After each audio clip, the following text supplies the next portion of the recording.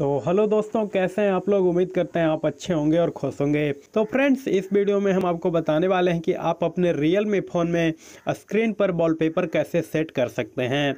लेकिन उससे पहले फ्रेंड्स, अगर आप मेरे चैनल पे नए हैं या फ्रेंड्स, अगर आप मेरे चैनल पे पहली बार आए हैं तो आप हमारे चैनल को ज़रूर सब्सक्राइब कर लीजिए और पास वाले नोटिफिकेशन बेल को भी ज़रूर दबा दीजिए, ताकि जब भी मैं कोई आपके लिए नया वीडियो अपलोड करूँ तो उसका नोटिफिकेशन आपको तुरंत मिल जाए और आप उस वीडियो को जल्द से जल्द वॉच कर पाएँ। पाएँ तो चलिए फ्रेंड्स, अब आपको बताते हैं कि आप अपने रियल मी फ़ोन में स्क्रीन वॉलपेपर कैसे सेट कर सकते हैं।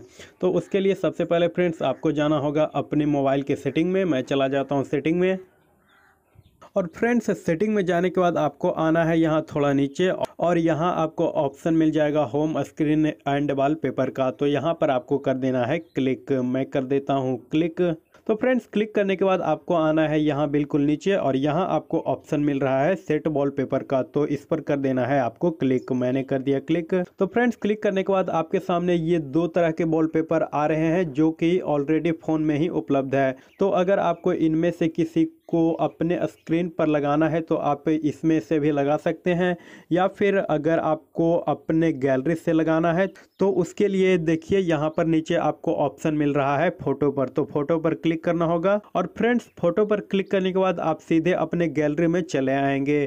तो आपको गैलरी से जिस भी फ़ोटो को अपने स्क्रीन पर वॉलपेपर में लगाना है तो, तो उसको आपको सिलेक्ट कर लेना है। जैसे कि देखिए फ्रेंड्स, मुझे इस फ़ोटो को अपने स्क्रीन वॉलपेपर पर सेट करना है तो इसको हम सिलेक्ट कर लेते हैं। और फ्रेंड्स, सिलेक्ट करने के बाद आपको यहाँ सीधा सेट एस पर क्लिक कर देना है। मैं कर देता हूँ क्लिक।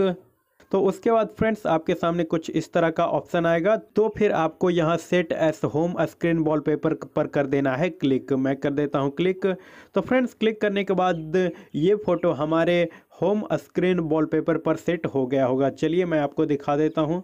तो बैक जाता हूँ। तो अब आप देख सकते हैं फ्रेंड्स कि वो फ़ोटो हमारे स्क्रीन वॉलपेपर के रूप में सेट हो चुका है। तो फ्रेंड्स इसी तरह से आप भी अपने रियल मी फ़ोन में स्क्रीन पर वॉलपेपर को सेट कर सकते हैं। तो फ्रेंड्स उम्मीद करते हैं वीडियो आपको पसंद आएगा।